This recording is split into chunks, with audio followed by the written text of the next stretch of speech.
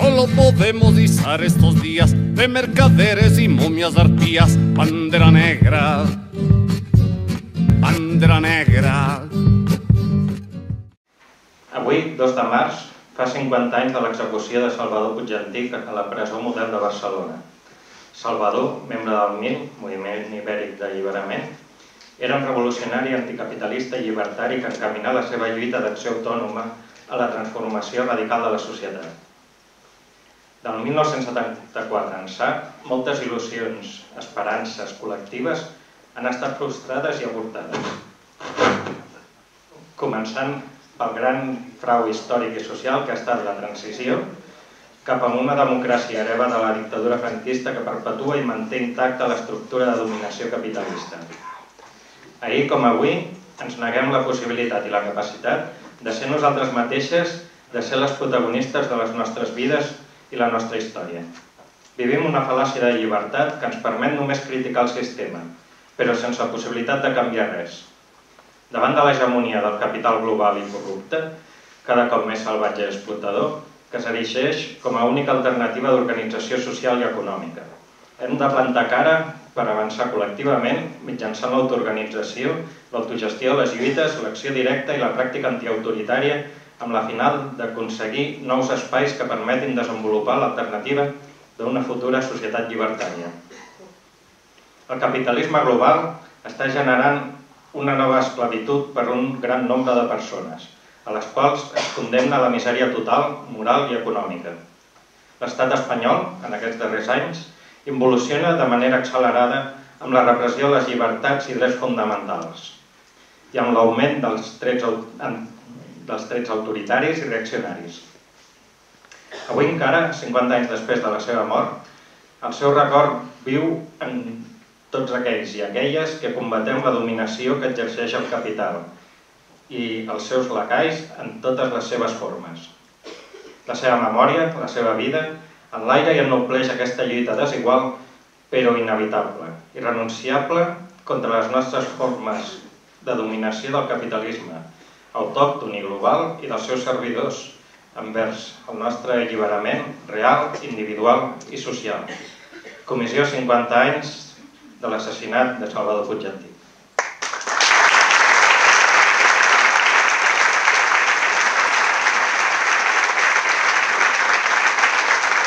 fa molt de temps, aquest any a més el temps ho ha posat que cau exactament el mateix dia, o sigui, van entrar a la presó les germanes el divendres, avui el mataven, demà l'enterràvem, primer en silenci, després amb molta, amb, amb molt de suport per part de tothom, Uh, bueno, bastant difícil.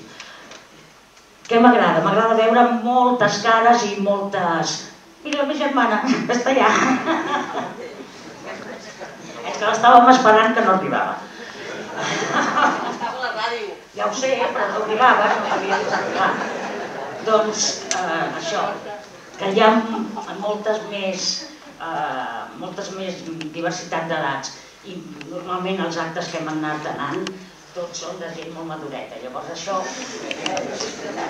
veure gent jove i així també és una cosa que ens agrada molt perquè sí que la nostra idea era que, que, que no s'oblidi, que eh, tant els valors com la memòria, els valors una mica. que sempre amb això hem tingut disputes, hem tingut algun malaltès i alguna, algun mal rotllet i no, per, per la nostra part tampoc ens agrada. I res, moltes gràcies a tothom per tot, per tot, per tot, perquè tothom ha, ha fet moltes coses, a tothom li va fotre molt, això ho sabem, i, i res, endavant i, i a seguir. Vale, moltes gràcies. He perdut la vista totalment a sé que si veiés que hi ha gent ferma, maca i gent de debò solidària que està aquí. Uh, um, estic una mica fotut, perdoneu-me si a vegades doncs, uh, d'això i tal. Uh, bé, tinc la sensació, mireu una miqueta, aviam, que no hi hagi per aquí algú en gabardina o en alguna d'això, perquè em fa la sensació que estem en una una miqueta en una reunió clandestina. I dic clandestina perquè els mitjans de comunicació, els nostres, els demòcrates que tenim a casa nostra, com sempre han fet els últims anys, no és res d'estranyar, han silenciat completament a totes les radioacions els nostres actes. Eh, els demòcrates, els nostres demòcrates. Serà que nosaltres no som demòcrates? Doncs sí, l'encerten. Nosaltres no som demòcrates.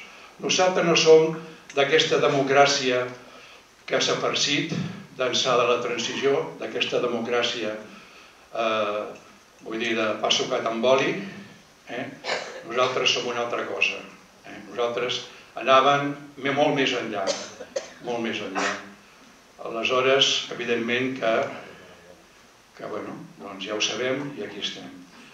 Estic content de l'acte d'ahir, perquè és un acte, eh, uns cantants meravellosos i bona gent també, eh, volia citar a la Bet Calçapeu, que era una dona del MIM, que va venir aquí i va llegir una sèrie de coses molt maques. És una dona estupenda, companya i, molt ben retrobada. A més m'envia sempre coses, eh, està sempre a la bretxa de la situació internacional i gràcies a ella doncs, m'entero de moltes coses que estan passant al món. Ahir es va llegir, a part d'aquest eh, eh, comunicat, aquest manifest, es va llegir un altre que a mi m'agradava molt, perquè era més actualitzat, que era el Carles Sanz. Jo crec que amb aquest manifest ja no caldria que parléssim. Eh? Potser es podria tornar a llegir, no ho sé. Bé, aquí som gent, hem vingut gent eh, de tot arreu de la península. Hi ha gent de Galícia, gent d'Astúries, gent de Portugal, gent de, de Múrcia, gent de molts llocs, gent també de França i gent d'altres llocs d'Europa. Jo avui mateix he arribat tard perquè he hagut de, de parlar una videoconferència amb companys dels Estats Units que també estan alerta d'aquest acte i són solidaris amb aquest acte. Bé, eh, vull fer menció, és que han vingut dues dosenes de, de madrilenys, de gent de Madrid, són molts. Eh, a Madrid no només hi ha l'Ayuso, a la Madrid hi ha gent collonuda, gent solidària, gent molt maca, lo mejor de Madrid está hoy aquí con nosotros. I...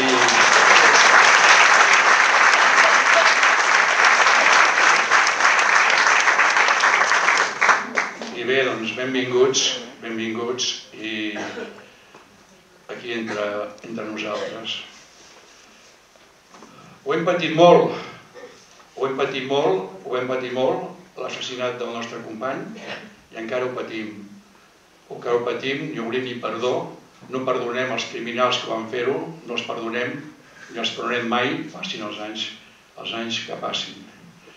Bé, eh, jo voldria fer esment, encara que ja s'ha fet, encara que elles no siguin del mil, però elles són unes quatre dones que han estat sempre al peu del canó, han lluitat per la dignificació de la, de la memòria del seu germà, han demanat justícia i reparació, són aquí entre nosaltres, eh, són la Imma, la Carme, la Montse i la Marsona. Una abraçada càlida i fraterna i llibertària cap a elles.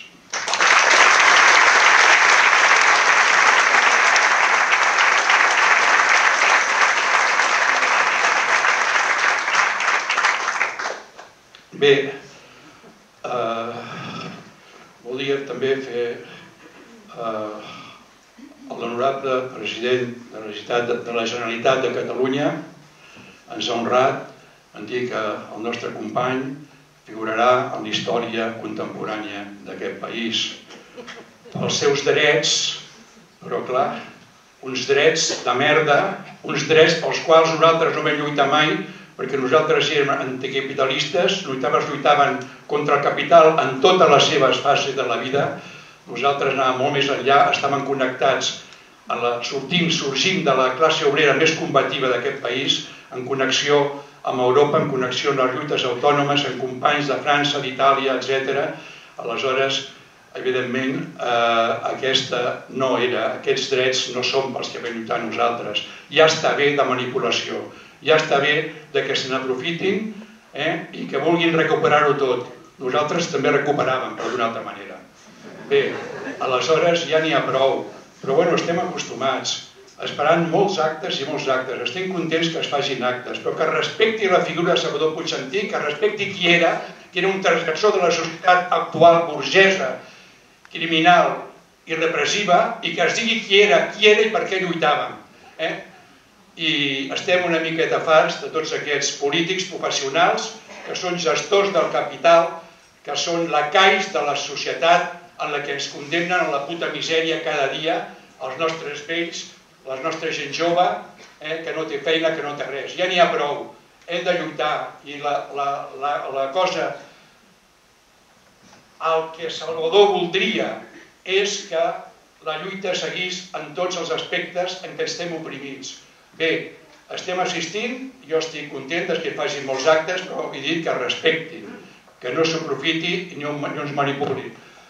Uh, finalment ens trobarem que potser en Sant Salvador només falta que l'Església, la nostra Església catalana, ratifiqui i el posi també com Sant Salvador. Ja n'hi ha prou, ja n'hi ha prou. Uh, en fi, jo estic molt cansat, estic molt cansat Mireu, l'altre dia vaig sentir per una ràdio que van llegir, van llegir una, una carta extraordinària, una carta que és l'última d'en Salvador al, al Joaquim, el seu germà, a York, una carta molt maca, una carta que potser es podria llegir aquí, però més emocions no, perquè ens emocionem. Jo ja m'he fet gran i ara, doncs, no sé, a vegades, abans no passava i ara ja em passa, no?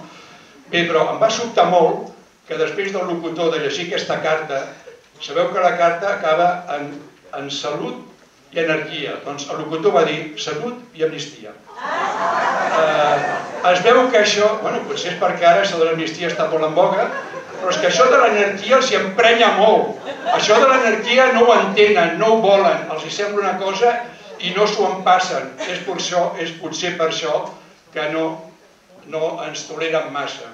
Però bé, eh, vull aquí recordar a Pep Guardiola. Pep Guardiola, ara fa 10 anys, ara fa 10 anys, Pep Guardiola sempre ha donat, sempre amb els actes, sempre eh, aquest dia, 2 de, de març, eh, sempre doncs, eh, ha recordat amb aquesta carta del Joaquim i això va tenir, jo em vaig assabentar ara fa 10 anys quan ell, quan ell era eh, al Bayern de Múnich en un dia 2 de març, ara fa 10 anys, abans que, que, que, que sortís al, al camp, els jugadors a la pantalla va posar en alemany aquest, aquesta carta aquesta carta escrita al, al seu germà Joaquim. Uh, des d'aleshores li tinc una preci gran perquè és un home solidari i ho van silenciar-ho aquí i recordo, recordo aquest fet que contrasta amb la ràdio aquesta tan democràtiques que tenim aquí dels nostres demòcrates.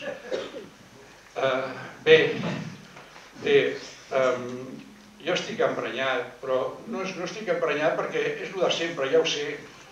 Mireu, jo sempre he escrit algun article, alguna commemoració, ara fa 5 anys, a la premsa, fent una valoració d'en Salvador, doncs, 13 anys, 15, tal, 45. Ho he intentat, d'escriure, de d'enviar un article doncs, eh, valorant 50 anys i actualitzant això. No m'ha estat possible. No hi ha hagut cap diari de Barcelona que ho hagi acceptat. Aquesta és la seva democràcia. Aquests són els nostres demòcrates. Per això millor que ens hagin ignorat perquè nosaltres també els ignorem amb ells. Bé, eh, sí, parlen de molts drets, no? aquests drets que deia abans, que, que va, però jo estic també emprenyat perquè jo he perdut la vista, estic molt fotut. Jo fa 12 anys, 12 anys tenia eh, una persona que m'ajudava al menjar, em portaven el menjar, tal, a fer feines, tot això ho tret. Ara que estic pitjor, que tinc dolències de dolor això, que tinc que veig res, ara que estic pitjor, els serveis socials de l'Ajuntament, de la Generalitat, m'ho han tret. Aquests són els drets aquests són els drets que presumeixen aquesta gent. Bé, amics, eh, eh, no explicaré ara què era el mil. Nosaltres vam sorgir, ben som la conseqüència, nosaltres venim de lluny, venim de lluny, venim de lluny. Si no haguessin hagut guerrillers com en Quico Sabater, com en Faceries, com tants d'altres, que ens van ajudar, potser no hi seríem, ens van ajudar eh, a seguir el camí. Vull recordar que encara hi ha eh, un guerriller viu de 95 anys que es diu Joan Busquets, el senzill, que vull aquí també felicitar la Comissió de la Dignitat perquè aquest dimarts, que ve dia 5, davant de la, de la comissaria, es llegiran uns cinc polis escrits per ell que explicarà tota la seva, eh, el temps que va estar allà. Estem demanant de fa temps que aquesta, aquesta presó, ai, perdó, aquesta comissaria sigui considerada, sigui, en fi, passi a ser de la memòria històrica de les tortures, això, la Casa del Terror. Bé, doncs, aquest és un dels guerrillers dels nostres i tal. Som d'un país, en Salvador Puigentí i d'altres lluitadors, com el Sant Marc o jo, com molts d'altres i milers que eren alhora, no sorgim del no-res. Tenim la sort d'haver nascut en un país lluitador, en un país que ha estimat la vida, que ha estimat la, ha estimat la revolució, que ha estimat eh, la justícia social. Aquest país, recordem-ho, va ser el que va, el que va aconseguir les 8 hores, Catalunya, les 8 hores en la canadenca. Després vam fer una revolució social que s'ha intentat amagar eh, durant la guerra. Després hem tingut una resistència de més de 20 anys de guerrillers, de gent que ha plantat cara, sols, isolats, però han plantat cara perquè era gent lliure i que havia de seguir lluitant. Eh, amb això vull recordar que venim d'aquí. Els dona la casualitat que els nostres pares, els pares d'en de, Salvador i meus, van coincidir, van coincidir Argelers i Irmer. El seu pare el van, eh, va estar condenat a mort, el van salvar. El meu pare també va estar torturat, va estar fotut allà a França amb els nazis i després aquí eh, també maltractat. No el vaig conèixer. Va, va, va morir quan jo apenas tenia tenia alguns mesos. Venim d'aquí, som una gent dels vençuts que hem continuat la lluita, una lluita radical que ha sigut una conseqüència de la guerra social, de les lluites socials, del nostre proletariat. I aquí venim, i eren gent, el Salvador era una persona íntegra. Nosaltres no érem demòcrates, nosaltres érem revolucionaris, accidentalistes, llibertaris, que anaven a una total transformació de la societat i el seu llegat encara és vigent, ara més que mai és vigent, amb aquesta merda de societat mundial, en aquest capitalisme depredador, amb aquesta manca de llibertats, amb aquests polítics, fariseus i oportunistes que ho recuperen tot i no tenen cap dret a fer-ho, encara avui en dia Salvador Puig Antic és viu, és viu en tots aquells que el vam estimar, les seves germanes, els companys, la gent que el va conèixer, perquè era un tio conegut, era un dels tios més ben parits de Catalunya en aquella època. Era un tio estimat i ens el van liquidar, ens el van matar i això no ho portem mal, no ho perdonarem mai a aquells criminals, però ell no és mort, ell ha viscut sempre, ha viscut sempre en la gent que l'hem estimat i viurà sempre en totes les lluites, no importa on sigui, a Madrid, a Singapur, aquí, de gent d'homes i dones lliures, lluitant, perdó, homes i dones llibres, lliures, que lluitin de debò per una emancipació total de la, de la, del proletariat i dels pobles. Mentre això sigui, el Salvador serà viu i ben viu a nosaltres.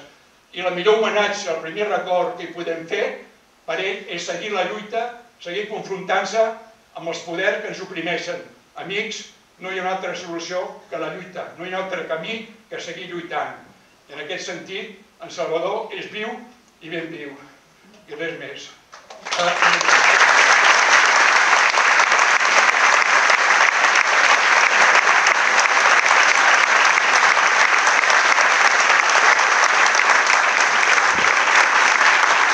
La memoria es una lucha política. Lo ha uh. Yo me, me interesa, escúchame, a los jóvenes. Y quiero decir algo que pueden servirlos eh, en la lucha que va a presentar. Eh, quiero decir también que el MIL fue una organización compleja, compleja, no sé cómo se... Eh, ahí había anarquistas, yo fui uno de los anarquistas, y había marxistas, y, había catalán, y había gente de, de, España, y había una fuerte componente internacional, es decir, de gente que no estaban de aquí. Estaban de aquí por idea y corazón, porque eran, eran eh, hijos y hijas de, de exiliados, de refugiados, y yo a esa época, antes de venir aquí, yo había tomado ya las armas en, en Toulouse y en Escalería, al momento del proceso de Burgos.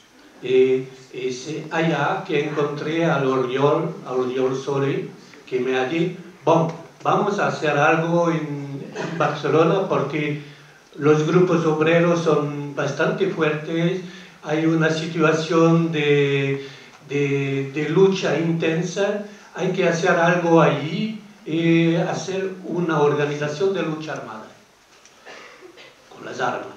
Bueno, la gente no gusta el término de lucha armada, con las armas. Y, y nos fuimos aquí. Yo pensaba, como anarquista, que había tomado el mismo camino que el Sabaté, que el Caraquemada, que era una lucha que se prolongaba y que yo estaba en este asunto. A discutir con los compañeros marxistas que habían dentro del MIL, y empecé a, comprender que no eran cosas que se acababan la lucha contra Franco, pero que había un movimiento de nuestra generación, de todos los compañeros a Italia, a Alemania, de to todos los países eh, industrializados, donde eh, empezamos ya a tomar las armas, una generación entera, una generación, y el mil, el mil es también una parte de esa generación. Y no sé, para como hay compañero italiano que está aquí, el MIL sirvió, eh, como el grupo de 22 de octubre a Italia, a, Torino. Un grupo que ha hecho el primer paso. Y después muchos compañeros han perseguido el camino, yo intenté, intenté seguirlo también hasta el final, hasta el final de nuestra generación, que se acabó al final de los años 80, a la derrota, la derrota no es la nuestra sola, fue la, la derrota del movimiento obrero, la derrota de todas las formas progresistas con la llegada de un modelo de acumulación que se llama el neoliberalismo.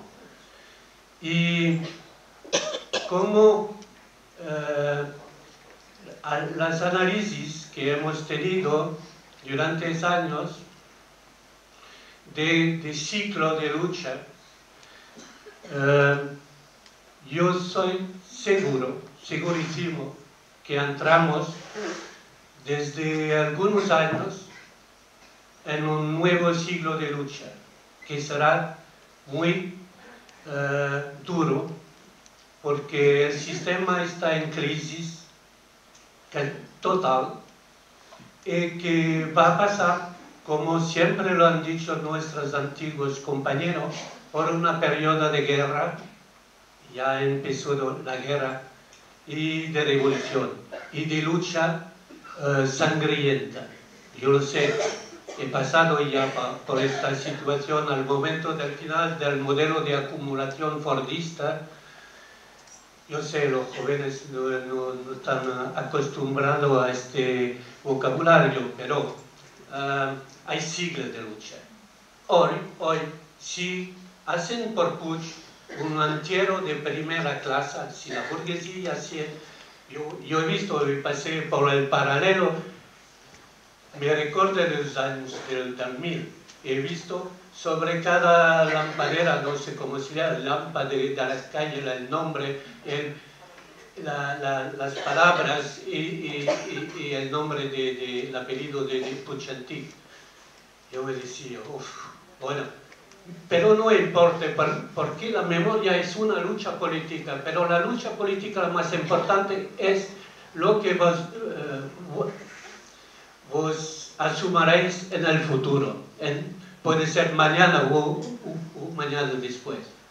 En este récord de, de, Puig quiero transmitir algo. En el 1000 se hablaba mucho de mayo 37. Siempre, no del 19 de julio, de mayo 37. Y en mayo 37, ¿qué, qué ha pasado? Es un grupo anarco, los amigos de, de Durruti, que se han ligado a algunos compañeros de grupos marxistas para hacer una nueva ins- insurrección, diciendo, hemos perdido, ¿qué hemos hecho? Hemos dado el poder a la burguesía. Y nosotros no queremos esto, queremos una junta revolucionaria, una junta revolucionaria. Y han encontrado quién los del PUM, que estaban fracasados por el gobierno burgués, donde estaban los ministros también anarcos, que como la Generalitat había empezado a matar responsables de las colectivizaciones solamente cuatro meses, después del 19 de julio. Lo poder se le quedó la burguesía, sí, de acuerdo, pero han matado a la gente de las colectivizaciones. Entonces, en mayo 37, compañeros se levantaron para hacer un frente revolucionario, no un frente con la burguesía, no un frente con los, los de la UGT o de- de- del Partido Comunista, no, han hecho un intento de hacer una, una comuna revolucionaria en Barcelona. ¿Y por qué? Eso hecho es muy importante en la historia del MIL. ¿Por qué el MIL? Precisamente, cuando se, se presentó la invitación muy hipócrita de la Asamblea de Cataluña, el MIL rechazó el Frente Único de los antifranquistas, porque se sabía en el MIL que esos organismos frentistas eran el paso adelantado de la transición, de nuestra traición. Y cuando se nota que la gente que me, me parece son totalmente oportunistas, que se guían a la historia de, de- esas conmemoraciones burguesas del Puig, intenta hacer olvidar eso, intenta decir a los jóvenes, "Oh, nosotros somos antifascistas de verdad, con nosotros podrías hacer cosas buenas. No, la historia del mayo 37, la historia del 1000, es en situación dura, no hay que hacer el frente con los socialdemócratas, son enemigos, lo han demostrado con González, con, con toda esa gente. La situación por los próximos que vienen es hacer un polo con todas las organizaciones revolucionarias que rechazan la socialdemocracia y la política antifascista de los burgueses. Porque el análisis, el fascismo no es una cosa de reacción, una cosa de, de los católicos, integristas y todo eso. Es una política de la burguesía, es la política de la burguesía extremista. Es decir, es la, la política de los, de los capitalistas. A final de la guerra, cuando los americanos han tomado el poder en Europa, se ha, se ha puesto la cuestión qué hacemos de, de- de estos dos dictadores en, en la península ibérica. Y los americanos han dicho, bueno, eh, el pueblo español es demasiado eh, ingobernable, entonces, ¿qué? Hay que mantener a este hijo de puta de, de eh, hijo de, de, la Santísima Madre, eh, Franco y Salazar.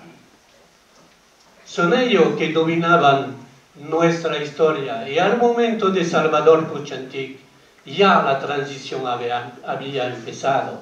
En todos los textos se dice, aquí endurecer el franquismo para que aceptan una pequeña liberación cuando se muera el tío. Había empezado, la, la, la transición empecé concretamente después del asunto de Palomares, cuando los aviones americanos habían perdido bombas atómicas en Palomares. Hay un, texto de la CIA muy claro que dice Uh, ahora se prepara la transición a, a, a, la muerte de Franco. Desde 60, 60 que, que, que, la fecha de Palomares, años antes 68. Se prepara la transición. Puig no muere de, del franquismo, Puig muere de la transición, como 800 compañeros en la fase de 77-78 hasta la, la, llegada de... La transición fue la época, una de las épocas más duras que hemos conocido. A Francia, hace poco, han enterrado en el Mausoleo Panteón eh, un resistente extranjero armeniano eh, de la frente, eh, frantiradores y partisanos de, de, la mano de obra extranjera. Y la han glorificado. Y cuando eh, vení a, Barcelona esta vez, yo digo, es, el, mismo asunto con el resto de la modelo, de todo, es el mismo...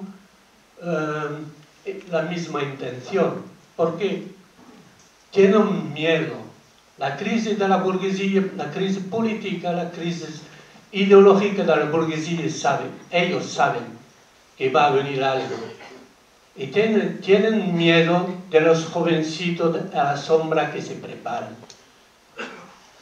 Y ellos hacen, oh, mira, vuestros héroes revolucionarios tenemos muy respeto con ellos. No, no, no tienen respeto de nada. Están, están luchadores, Pasco luchan ante de nosotros. Los que han eh, matado son solamente los mismos que se gobierna ahora. Son los mismos, pero con otra política porque la situación histórica no las ha empujado a tomar la decisión de hacer fascismo, por el momento. Puede ser que dentro de dos años no podríamos hacer una reunión así. Nos encontraríamos en una, una iglesia como a la época, sentado por tierra como, como sus compañeros, y cuidado con el futuro. Porque si tú no preparas el futuro, el futuro va a tocarte muy duramente. Y la burguesía lo sabe.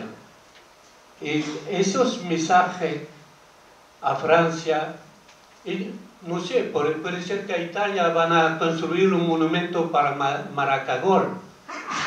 Es posible, porque tienen miedo tienen miedo de la, de la juventud.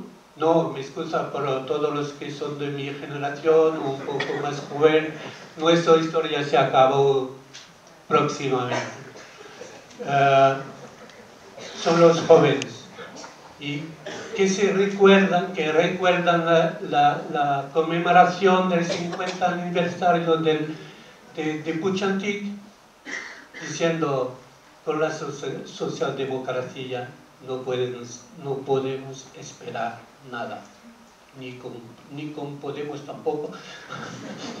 sí, no podemos, efectivamente. No podemos, porque nuestra alternativa, nuestra, nuestra alternativa es constituir el Frente Real, el de mayo 37, el ¿Por qué la gente no estaba con nosotros en mil? ¿Por qué estaban en la Asamblea de Cataluña? Es que la consigna de la Asamblea de Cataluña era con el mil nada. Pedir dinero, sí, pero con el mil nada. Sí, hay compañeros que sean marxistas, que sean anarquistas, porque yo luché, siempre en organismo donde había marxistas y anarquistas, conjunto con una, eh, una confrontación política muy, muy intensa, pero constructiva. El sectarismo no sirve de nada, salvo a desarmarnos.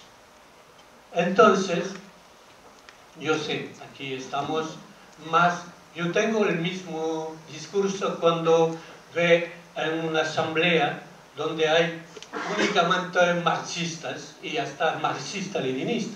Yo digo, hacer unidad sin sectariedad con los sectores los más radicales y los más autónomos de nuestra clase, que sean anarquistas, que sean marxistas.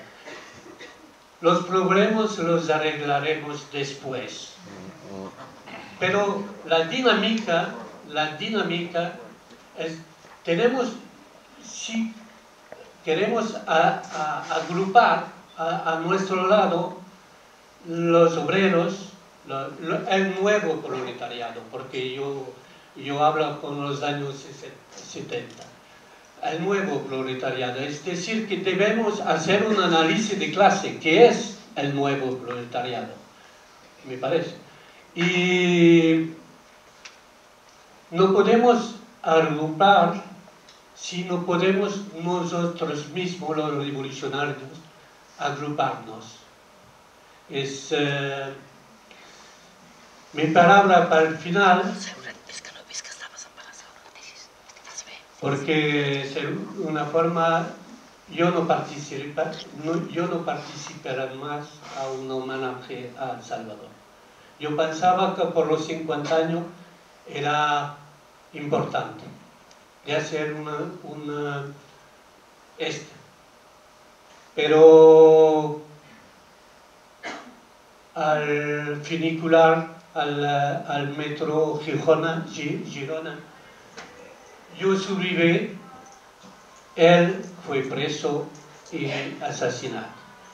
Yo en todas mis acciones eh, intenté de, de guardar eh, todo lo que hemos hablado, eh, toda, nuestra experiencia y transmitirla. Y durante 20 años en la lucha armada eh, he encontrado una generación, que es una parte es la vuestra, genial increíble que ha luchado, que sean marxistas-leninistas, que sean anarquistas, que sean consejeristas como yo. Una generación que ha dado una parte de su vida y, muchos su vida.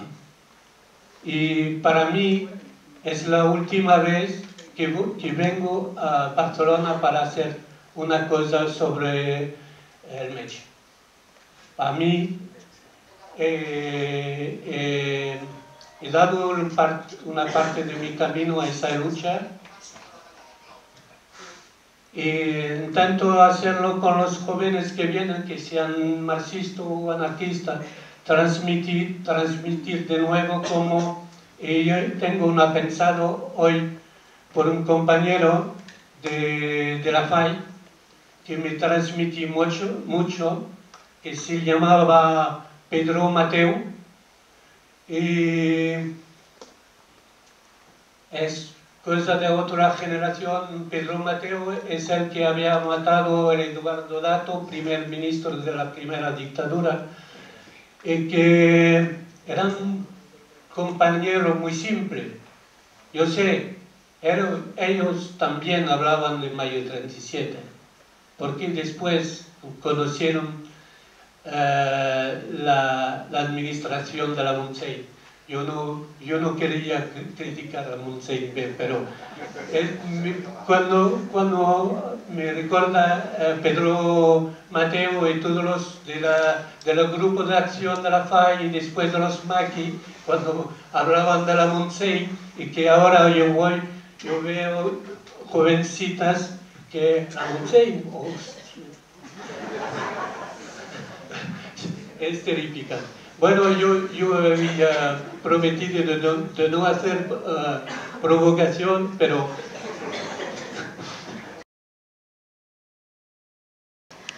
Jordi Casti té, com ha dit l'Oriol, ha escrit un llibre que l'editorial Descontrol publicarà a la tardor d'aquest any.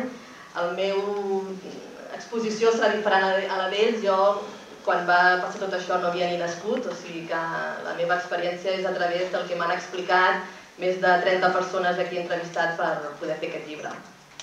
Uh, allà veureu que hi ha aquest fanzine, que és un petit recull de textos del llibre, que és una mica el que explicaré jo ara, però el llibre que sortirà a la tardor tracta sobre uh, un grup autònom que, que va actuar a Barcelona durant l'any, va començar el 1972 i que va col·laborar amb el MIL. Aquest grup no tenia nom, però la policia els va batejar com a organització de lluita armada, amb la sigla OLLA, i per qui no conegueu aquest grup, us faig un breu resum que, com us he dit, el grup va començar l'any 1972 a Barcelona i es va autodissoldre l'any 1988, és a dir, que va estar actuant durant 16 anys. Aquest grup autònom era un grup de recolzament de la lluita obrera, eren joves revolucionaris que suposaven el règim franquista i el capitalisme però també rebutjaven els partits polítics, les sigles, els sindicats, els dogmes, eren antiautoritaris, antiorganització, antimilitarista, antiviolència, antisistema, antiideologies, és a dir, que eren, en definitiva, uns revoltats dels partits polítics, eh, els quals ho rebutjaven eh, per, de totes bandes. Estaven decidits a trencar i canviar el sistema. Van decidir que serien un grup d'acció directa, és a dir, que usarien armes quan calgués fer una acció, però que l'usarien només com a intimidació i defensa. Tenien molt clar que no volien fer terrorisme i de fet ho rebutjaven frontalment. Aquest grup és important per diverses coses, però una d'elles era la seva forma d'organitzar-se. Ells, com que no volien jerarquies, funcionaven per grups, eh, gairebé entre ells els grups ni es coneixien, no seguien els seus noms reals, i aquests joves també es caracteritzen perquè no volien viure una vida clandestina, al contrari, ells treballaven cada dia, anaven a treballar i s'unien només per fer accions concretes. Creien que d'aquesta manera eren més conscients dels problemes dels treballadors perquè de fet ells també eren treballadors. Hi ha altres particularitats del grup, com per exemple els temes que els preocupaven o que entre els seus membres hi havia moltes dones que participaven activament, però tot això i el que van fer durant aquests 16 anys, ho podreu llegir a la tardor si voleu i us ve de gust, i el que estic aquí és per explicar-vos eh, la relació d'aquest grup autònom amb el Salvador i amb el MIL. El primer contacte que va tenir el, el grup amb el MIL va ser una reunió que van fer al Moixeró, ens van reunir allà a la Serra dels Pirineus, i el que van fer sobretot, eh, en aquesta reunió estava el Jan Marc, que eren tres del MIL i dos del grup autònom, i es van reunir per conèixer sobretot, per explicar-se les seves polítiques, com volien actuar, i fins i tot eh, es van caure també, diguéssim, que van decidir que farien dues expropiacions conjuntes. La primera va ser el novembre de 1972, va ser una expropiació a la Caixa d'Estalvis i Pensions de Gràcia, que hi van participar el MIL i un membre del grup autònom.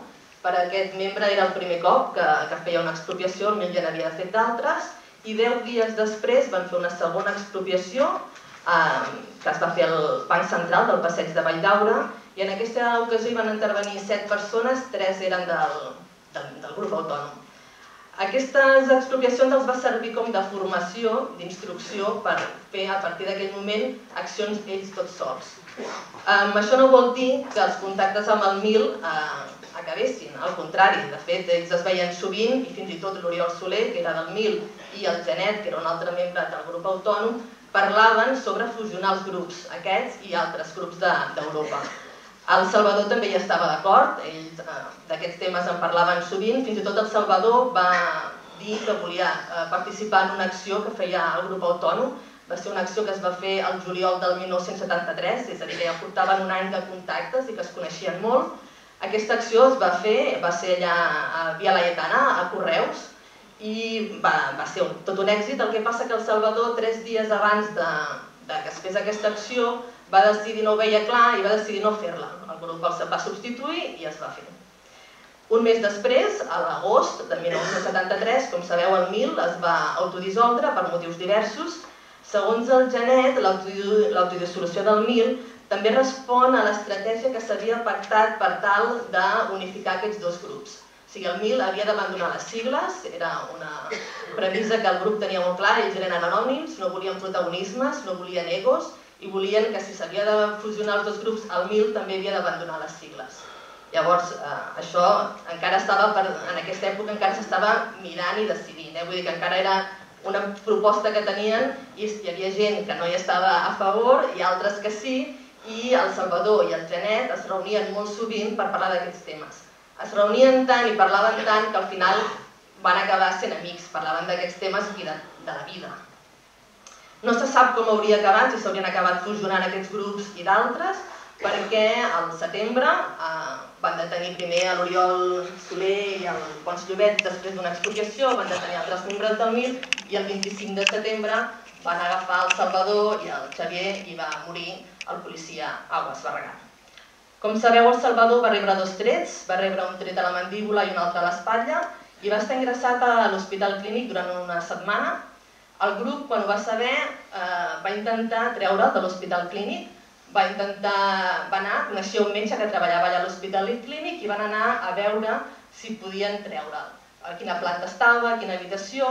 Van veure que el recorregut que haurien de fer per sortir de l'hospital clínic estava ple de policies, hi havia uns 20 policies i van veure que seria bastant complicat perquè es trobarien a personal mèdic, a pacients, a familiars, i mm, segurament eh, bueno, seria molt perillós de l'acció perquè evidentment anirien armats i acabarien segurament disparant. A més, mentre estaven planejant aquest pla, els policies cada cop s'atrinxeraven més a la porta on estava el Salvador a l'hospital i els, els membres van veure que encara els quedava alguns serrells com per polir. Per tant, per exemple, no sabien si el Salvador podia caminar tot sol i arribar fins a la porta de sortida o els quedava trobar un pis de seguretat on portar-lo eh, que estigués segur o fins i tot algun metge que li pogués tractar les ferides. Com que això no ho tenien molt clar i estaven, les, hores estaven passant i tot anava molt ràpid, van decidir que no farien aquest pla de fuga i no el van anar a salvar. El que sí que van fer eh, va ser crear un comitè de solidaritat amb els presos del MIL. Aquest comitè pel grup va ser un acte polític conscient, és a dir, que ells sabien perfectament que abandonaven el seu anonimat que a partir d'aquell dia començarien a veure molta gent i els haurien de veure amb la cara destapada, que ho van decidir perquè van decidir que els, fets eren prou rellevants com per, per decidir doncs, deixar l'anonimat i començar a parlar amb gent, perquè el que van fer, la primera acció del comitè va ser crear el dossier 1000, que, que és, aquí teniu la portada, és un fulls de d'INA 4 on hi ha una breu biografia dels detinguts del 1000, Uh, allà s'explica quina que era el MIL, quina associació era, també hi ha textos polítics que escrivien, i el que, sobretot el que es volia era deixar clar que el MIL no era una, una banda de delinqüents que atracava bancs, que, no eren delinqüents comuns, que no eren terroristes, sinó que ells eren una organització política i que tot el que feien era per uh, ideologia i que tenien a, a darrere un rerefons polític. Aquest dossier 1000, eh, la primera edició està datada del 30 de setembre, el Salvador van detenir el 25, per tant en només 5 dies el grup i el comitè va redactar aquest dossier, el va imprimir en ciclostils i en vietnamites i el va distribuir. Van fer uns 200 exemplars d'aquesta primera edició. Qui formava part d'aquest comitè? El comitè estava obert a tothom, podia accedir tothom que volgués. Eh, els més habituals eren quatre membres del grup autònom, anaven a aquest comitè, i després hi havia, per exemple, el Víctor, que era membre de la revista CNT Informa, però hi anava com a membre com a títol individual. També hi anava el Bombetes, que en aquella època era de la FAI de Barcelona, i també hi anava com a títol individual. Després també hi anaven eh, membres del grup anarquista del Poble Nou, també, i estudiants llibertaris i altres organitzacions llibertàries també estaven per allà. Um, a més, uh, ells estaven a França, s'havien havien escapat i estaven a França i estaven en contacte amb molts altres grups per tota Europa que de seguida es van crear comitès de solidaritat amb els presos del Nil per tota Europa. França, Bèlgica, Suïssa, Itàlia, fins i tot Mèxic i Argentina van crear moltíssims comitès que entre tots es coordinaven per fer accions comunes. El que es volia sobretot era internacionalitzar el judici que tothom sapigués què estava passant aquí a Espanya, intentar pressionar perquè el govern espanyol, les penes que donguessin al Salvador, que era qui, que aquí acusaven d'haver matat el policia, doncs no tingués penes de mort. El... És veritat que hi va haver solidaritat, però també és molt veritat i s'ha de dir el que ha dit el Jean Marc, que aquí a Catalunya, l'Assemblea de Catalunya i els comunistes del SUC no van fer absolutament res, van ignorar el cas i van fer com si no existís. Mentrestant, el, el grup autònom, com que volia, això que us estic dient, que volien difondre el cas, el que feien un grup del comitè, un membre del comitè, perdoneu, anava cada dia, cada dia, a dos advocats, a despatxos d'advocats. Primer anava l'advocat de l'Oriol Soler i després anava al col·legi, al despatx de l'advocat del Salvador. Allà s'explicaven doncs, què feien el comitè, quines, mm, quines accions estaven fent, amb qui estaven parlant per Europa i els advocats li explicaven doncs, com anaven els judicis, com estaven les defenses, com funcionava el tribunal, i de tot això el comitè elaborava unes, uns textos que són, van, van fer tres circulars, i aquestes circulars les distribuïen per tota la premsa clandestina que hi havia aquí i també per Europa. Penseu que els, la premsa tradicional, evidentment, mm, no explicava la veritat del cas. Llavors, ells eren fent tota aquesta feina de difusió del cas per intentar eh, salvar a la vida del Salvador i hi havia moltíssima gent que tot això eh, ho distribuïa per Europa. El Ricard, per exemple, també va fer molts viatges a, a França, fins i tot per Espanya, per portar el dossier 1000, per portar pamflets, per portar cartells, per portar tot un munt de coses a tot arreu perquè arribés la informació, perquè d'Espanya no sortia informació cap a Europa del cas i perquè tothom estigués informat era l'única manera. El 20 de desembre del 73, ETA va fer l'atemptat contra Lluís Carrero Blanco i el va matar, i a partir d'aquest moment no hi va haver dubtes que segurament el Salvador seria un cap de turc i que, que l'acabarien matant. I llavors el que va decidir el comitè va ser radicalitzar les accions. El grup feia uns mesos que havia expropiat una pedrera, explosius, i va decidir que els posarien a l'abast de tothom que volgués, i també del comitè, i que es podrien fer accions amb explosius. Mentrestant, eh, també estaven planejant un altre pla de fuga pel Salvador, sabien que al gener, quan l'anessin a, a jutjar Capitania General, el furgó havia de passar de la presó fins a Capitania General i passaria per l'avinguda paral·lel. En aquest moment van pensar, ostres, doncs si algú, del, algú una noia del grup amb un cotxet para amb un, amb un, amb un semàfor, un cotxe es para amb ella, faran barrera, el furgó no podrà passar i algú de nosaltres amb pistoles anirà cap al furgó i podrem fer servir que, o sigui, que el Salvador surti i escapar.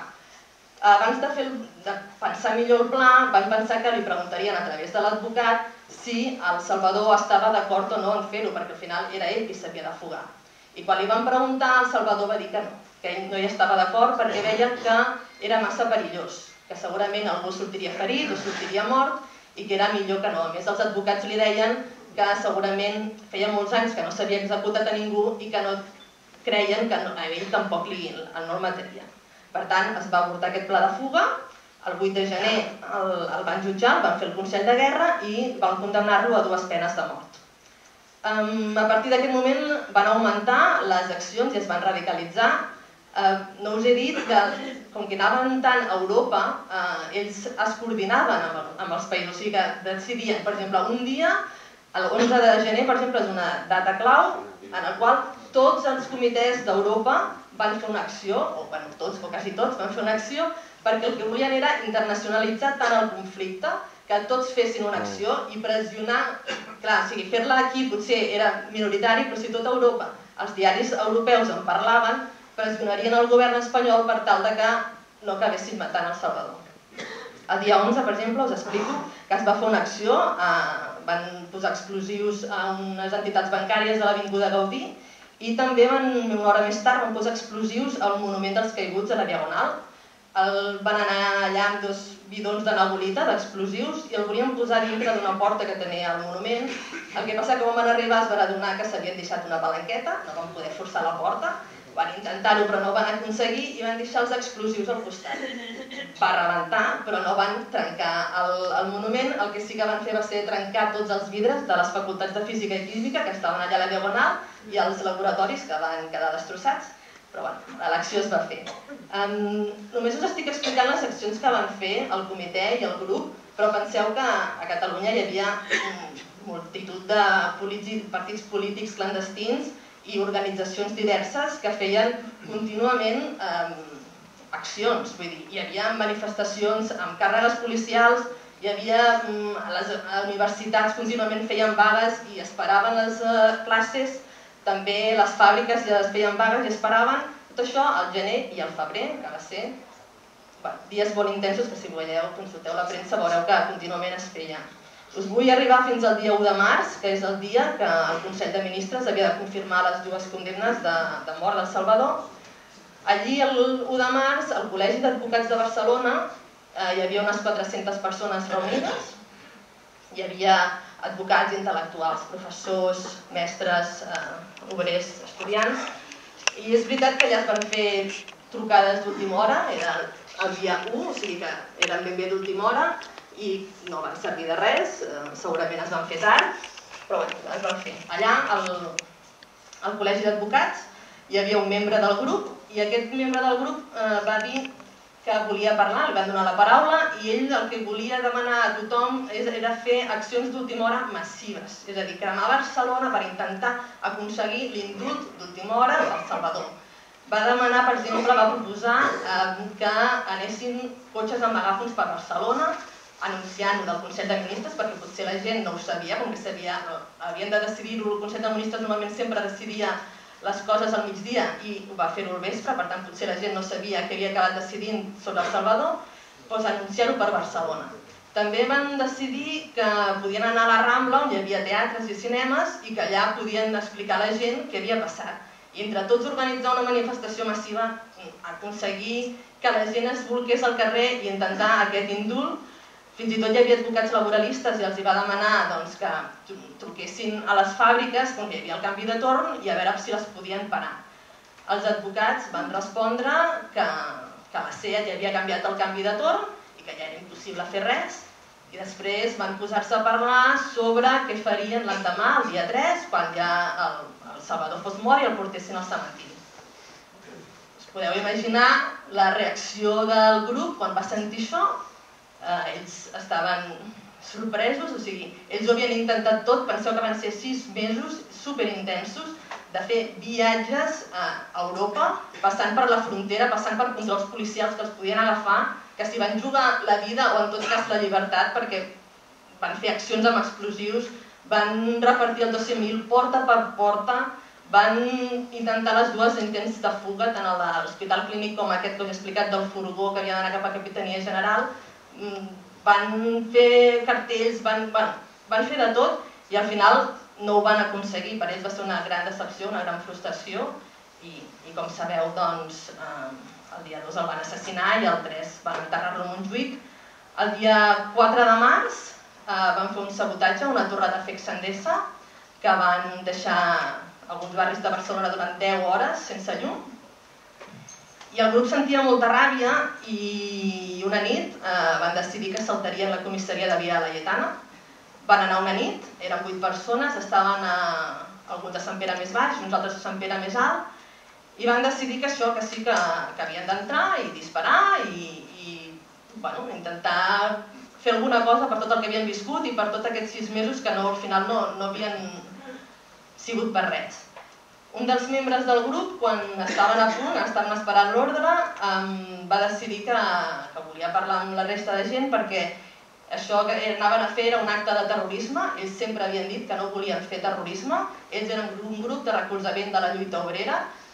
I això que anaven a fer era pura venjança, era entrar a comissaria, assaltar-la i matar després d'un temps eh, xerrant van decidir que sí, que tenia, que tenia raó, que no havien d'oblidar-ho i, i van marxar cap a casa.